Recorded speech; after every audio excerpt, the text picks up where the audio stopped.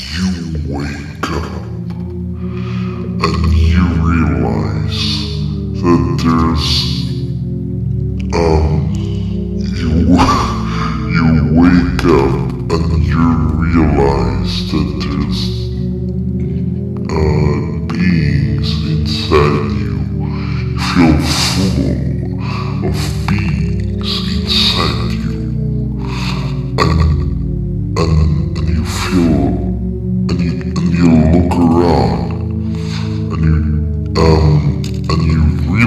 that you're tall. You're you're really tall. You you're gigantic.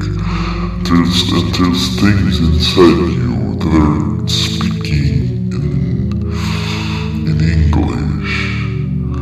And then you see your brother who is also gigantic.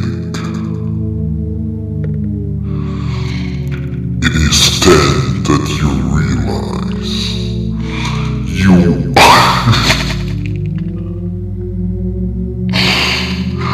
you are you are one of the twin towers.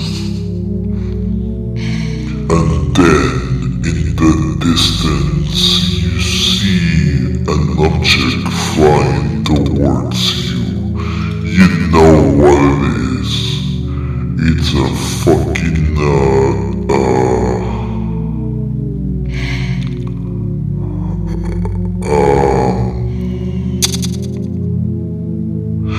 It's a fucking airplane.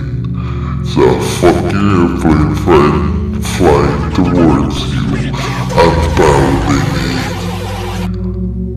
it is motherfucking George, George Bush. And then you die. That's the end. Fuck you. Hey guys, if you feel like this story is scary, be sure to subscribe for more creepy monsters.